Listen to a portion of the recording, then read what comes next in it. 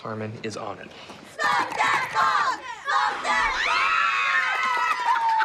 I did a drug! All right, all right, pipe down, pipe down. Anyway, goodbye forever. She just has to marry an American. Oh my God. Cupcake. No! I mean, yes, perfect solution, and no, I don't have a better idea, but fucking no, no. Oh my God. Our final show. Britannica, heartbroken over Thomas, finds true love in the arms of her one, number one fan. We'll pull out all the stops. You guys will get married in the ring. That is our finale, you guys. I am so high, but this is a great idea. Rhonda's overly sensitive. Everybody shut the Just fuck you went to up. med school. Do you guys want to stay at 2 a.m.? Is that what you want? Because you guys are wasting a lot of time talking about complete nonsense. You want to know why the men are better?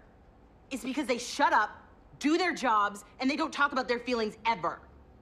So stop arguing about petty bullshit and get back to stretching. Because this week is going to be impossible. Everything is going to be hard. You guys might not even be able to walk by the end of all of this. But our wrestling is going to be great.